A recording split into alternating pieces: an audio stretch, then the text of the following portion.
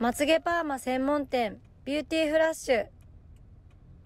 こんにちは。ビューティーフラッシュの丸山です。今日のボード学習はテープワークについてやっていきたいと思います。ねテープワークっていうのは私もねインスタの投稿で上げてもかなりね注目度が高いっていうねワードになってます。なので、ね、皆さん結構ね苦戦してるんじゃないかなというふうに思いますので今日は簡単に手短にねなんとなくテープワークのコツが分かるような動画にしていきたいと思います。はいまず早速ですけれどもテープの長さ。こう皆さんどのくらいにしてますか？えっとね私はね2センチから3センチ以内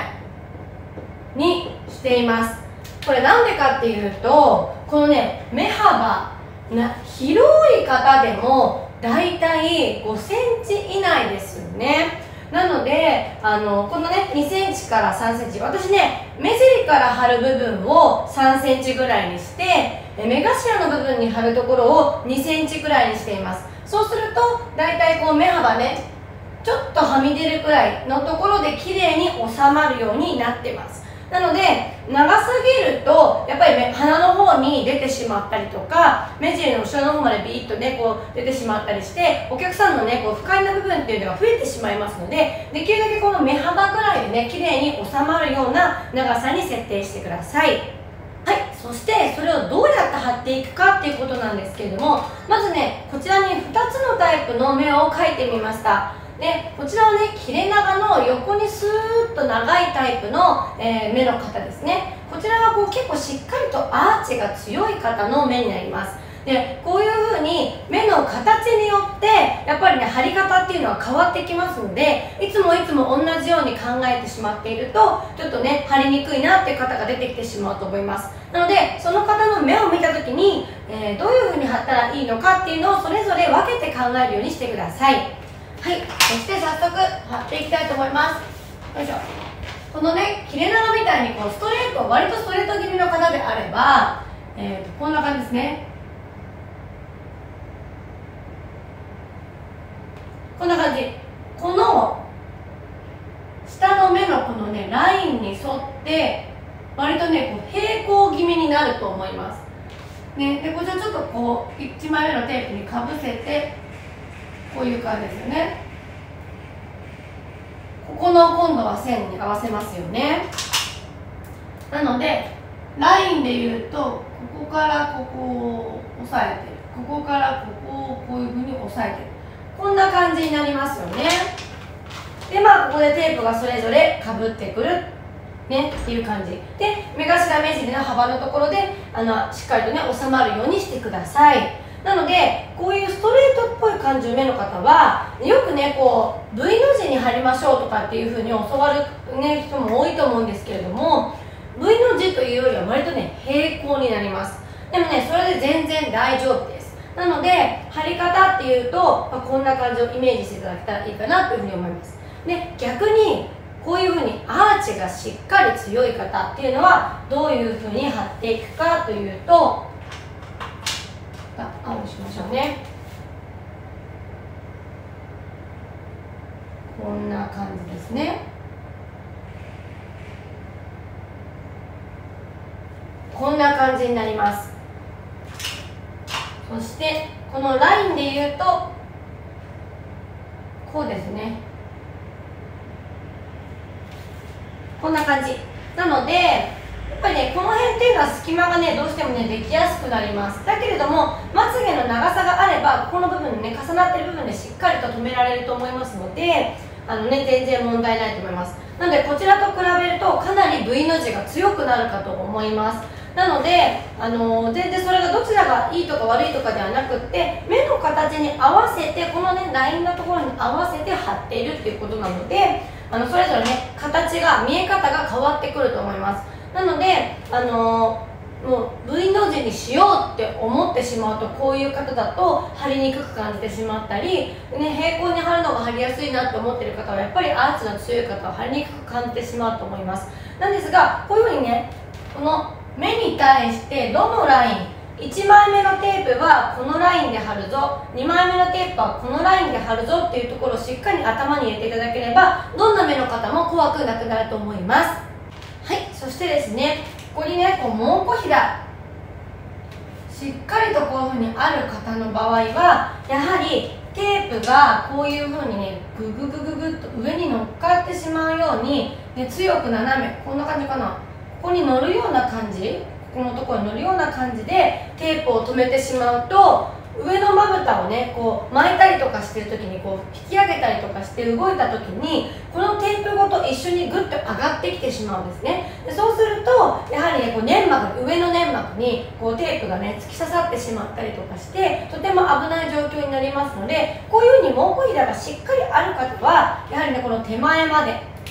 この蒙古ひだの手前まででテープが終わるようにしていきましょう。ね。で蒙古ひだがあんまりないない方にしましょうね。あんまりなくってでもない方どうやって書いてあるんだろうスーッとされてる方？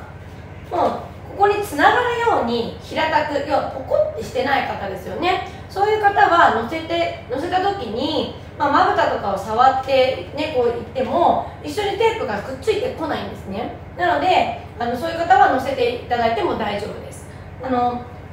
絶対もう声に乗せないでくださいねっていうふうにあの言う方もいらっしゃるのでそこは別にあのどちらでもいいとは思います。ただ私がいつもあの気にしているのは上のまぶたを触った時に下のテープが上にグッとくっついてこないかどうかですね。上がってこないかどうか。やっぱり上がってきてしまうと上の粘膜に当たってしまって危険になるのでそういう方の場合は蒙古膝の手前でやめるようにして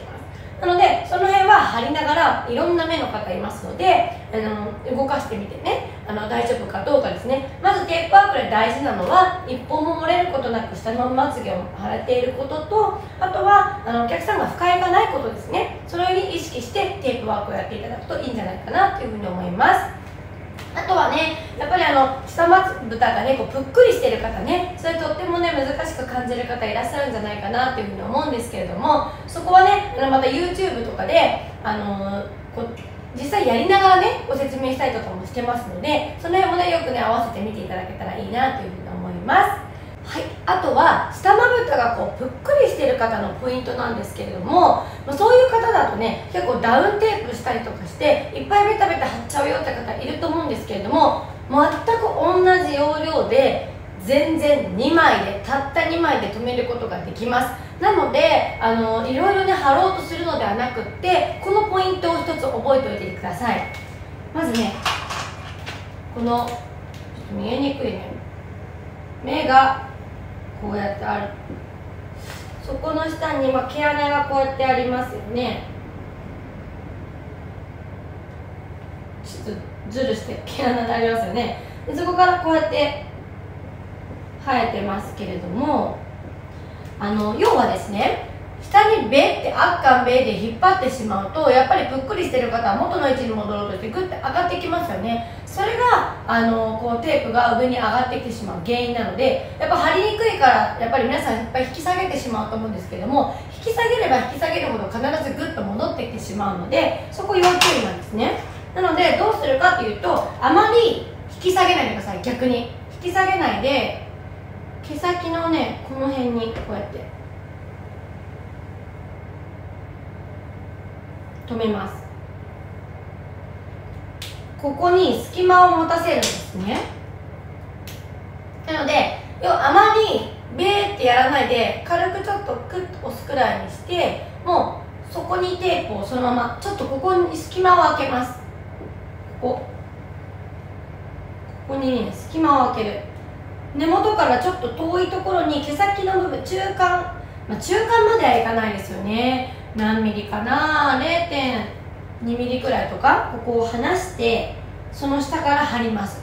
でそうするとあのなんでしょうこう下に下がるゆとりがねこう根元にできるのであのテープはしっかり止められるしお肉もこう引き下げてないので戻ってこないんですね。なのでしっかりとしたまつげが固定できる上にあのテープも刺さってこないっていうことになります。なのでちょっとここのね隙間を開けてあげてテープを止めるっていう風にちょっと工夫をしてみてください。まあね、あとはね何はともあれ練習するしかないのでいろんな方の目に、えー、テープワークをしっかり、ね、練習してみていただけたら、まあ、だんだんねコツがねつかめてくるんじゃないかなと思います。ストレートの方アーチが強い方下まぶたがぷっくりしている方いろんな方いらっしゃいますのでぜひたくさんのモデルさんにテープをやってみてください。今日もご視聴ありがとうございました。いいねとチャンネル登録お待ちしております。月曜日と火曜日は技術動画をお送りして金曜日はこのようにボード学習でまたね深くさらに学んでいきたいと思っておりますのでぜひぜひ皆さんチェックしてみてみてください。